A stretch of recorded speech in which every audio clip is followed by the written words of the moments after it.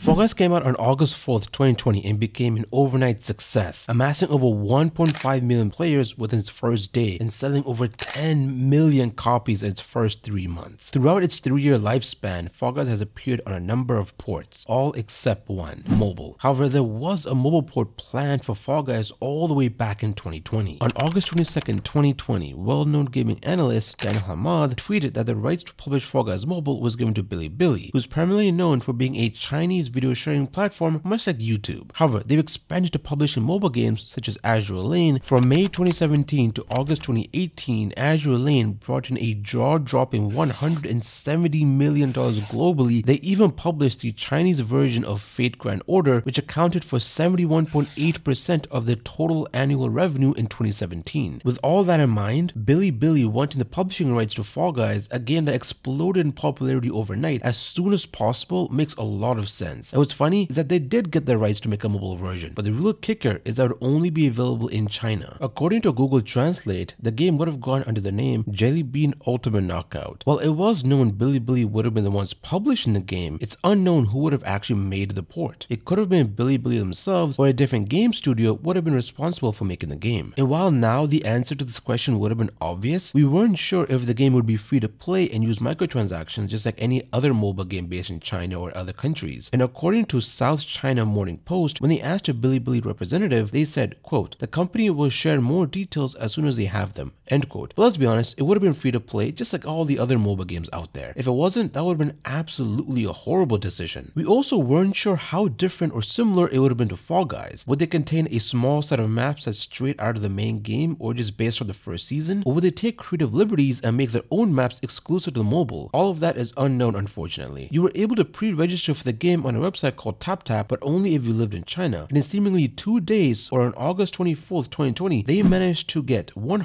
130,000 users to pre-register. No official gameplay was ever released on the Chinese mobile port. No posts on their official pages, no trailers, or even screenshots. Well, the only thing we got was the announcement trailer, and that was back in August 2020. And it was just the Fall Guys launch trailer with the Bilibili logo slapped at the start. And we did get some screenshots, but again, they weren't actual mobile game screenshots. They were just screenshots of old beta versions of maps with some Chinese text at the bottom. But that's the extent of the mobile port. Even when the game went free to play, we got no news from Bilibili if they're even making it. There are videos of beta gameplay, I'm saying that with air quotes, but it's most likely fake. Although that wasn't very unusual since Guys back in 2020 were dealing with scams and blatant knockoffs. Fun fact, if you go to the website shown on the image, that being fallguysmobile.com, it redirects you to the official Guys website. Most of you probably know that Epic Games owns Mediatonic, the company who developed Fall Guys. However, that wasn't always the case. Fall Guys was first published by Devolver Digital, who are known for publishing games such as Hotline Miami, Cult of the Lamb, Serious Sam, and more. This is just me speculating or just guessing, but Bilibili probably went to Devolver Digital and negotiated a deal for the publishing rights for Fall Guys Mobile, without knowing that Epic Games would want to buy the company that made the game they're currently publishing. The Verge would publish an article on the 24th of August 2020, and one of the co-founders of Mediatonic, Bill Croft, said this, quote, We can confirm Bilibili have secured publishing rights to a mobile version in China. As you can imagine, we've had a lot of questions about platforms since launch, and of course we'd love to release on more platforms in the future, but for now we're focusing our efforts on PC and PS4, end quote. I just find it strange how they were so quick to sell the publishing rights to the mobile version to a Chinese company who would seemingly only release it in China. We weren't sure if a worldwide release was ever planned, and looking at Azure Lane, which is a game that Bilibili actually published, it was first in China in May 2017, then they released in Japan in September 2017, and an English version was released in May 2019. So I think Guys Mobile would have probably followed the same model to what actually is in China,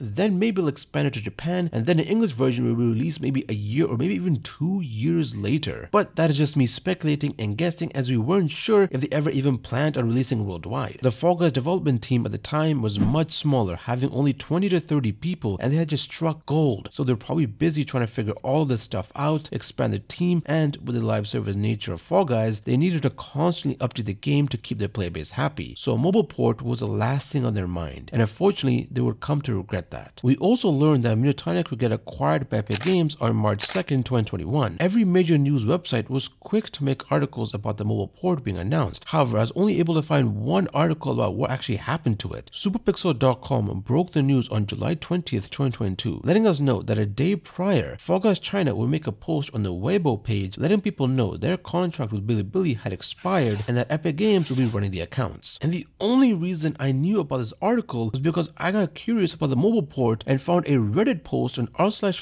game on someone wondering where the port was, and the guy responded basically saying the deal was over and a link to the article in question. The fact that I found out from a Reddit post and not from the official Fall Guys page is telling. They did not give a crap about this China-only mobile port. I don't think they even tweeted about it on their main pages. And why would they? The port was seemingly only for the Chinese market and the deal was made before Epic Games was in the picture. Due to the Fall Guys license getting transferred over to Epic Games, their plans on making the mobile port came to a screeching halt. And according to the article and the Weibo post, the license expired. It didn't say Epic Games terminated the contract or anything of the sort, so it seemingly lasted for two years and no real development happened. So Epic Games let the clock run out and took the keys afterwards. Rumors and speculation have pointed to a possible release of an actual Fall Guys mobile port sometime in 2024. And even though some will say it's too late, the mobile gaming industry is an absolute juggernaut. In 2023, it was estimated to be worth over $172.10 billion, and it shows no signs of slowing down. As long as they market the port well and it's actually well made, in the long run, it could be the most popular way to play Fall Guys, and it will definitely be the port that prints them the most money. Mediatonic or Devolver, whoever, giving away the rights to the mobile port to a Chinese entertainment company will be noted as a weird chapter in the game's history that seemingly everybody forgot about and frankly, I find that pretty funny. If you want to hear about why Fall Guys stopped doing seasons, click this video next and thank you to our Max 2 members for your support as always.